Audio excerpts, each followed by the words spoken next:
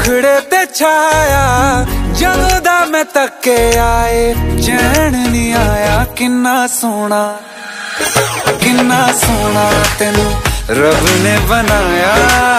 ਜੀ ਕਰ ਵੇਖਦਾ ਰਵਾਂ, ਕਿੰਨਾ ਸੋਹਣਾ ਤੈਨੂੰ ਰੱਬ ਨੇ ਬਣਾਇਆ।